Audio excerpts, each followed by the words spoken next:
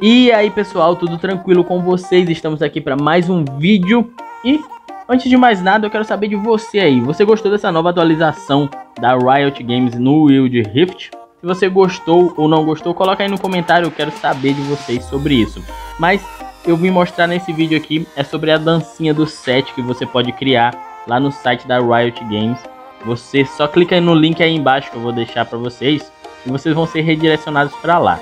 Aí Lá vão ter oito opções de dança do set. Você pode escolher dentre elas três para formar a sua.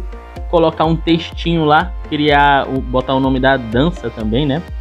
Eu escolhi essas três opções aqui. Tem essa do celularzinho que ele pega também, que é bem legal, que vocês vão já já ver. Depois que você escolhe, vai estar tá lá a opção de você colocar o nome da dança. E depois de colocar o nome da dança, vai aparecer a animação que você pode até fazer o download, cara, direto no seu celular. Vocês estão vendo aí, ó, que eu entrei pelo celular e não trava, é bem bacaninha. E dá pra você colocar aí a dança do set que você criar nos seus status aí de redes sociais, até no WhatsApp.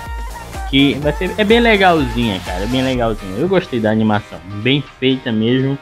E achei uma coisa bem interessante. E vim trazer para você que não, talvez não saiba aí. Galera, muito obrigado por ter assistido. É isso aí. E coloca aí no comentário. Quero saber se você gostou ou não dessa nova atualização.